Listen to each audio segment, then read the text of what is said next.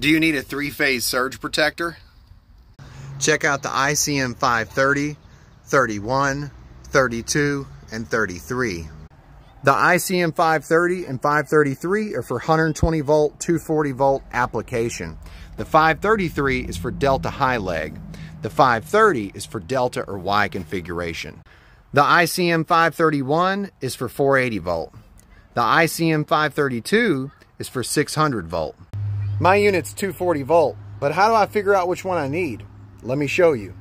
Take your meter, turn it to volts AC, and check from ground to each leg. 120, 120, 212.